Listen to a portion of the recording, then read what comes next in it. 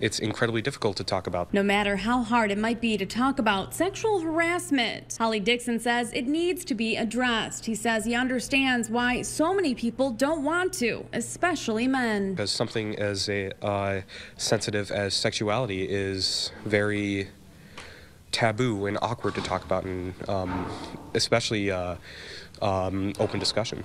But now that could all change as Flint native Terry Crews and many other Hollywood celebrities are coming out, sharing their experiences with sexual assault. Terry Crews sent out dozens of tweets, one even indicating that he was with his wife at a Hollywood party last year and a high-level Hollywood executive came up to him and groped him. Crews also tweeted that he didn't come out right away because he was afraid of being ostracized in Hollywood. Rachel Johnson is the director of the Flint YWCA. She says they deal with victims of sexual assault every day. And she says what Crews did is heroic. It's so brave of him. I think that, that that's what, what we need to happen in order for us to break down some of these stigmas. Johnson says only about 5% of the victims that come in for services are men. She wants everyone to know there are people who want to help. Agencies like the YWCA are always here to um, help support whatever decision, whether that be um, to file a complaint or just they, they want to come in and talk to a counselor um, just to, to get a, a bit of that validation. Crews tweeted, Hollywood is not the only business where this happens.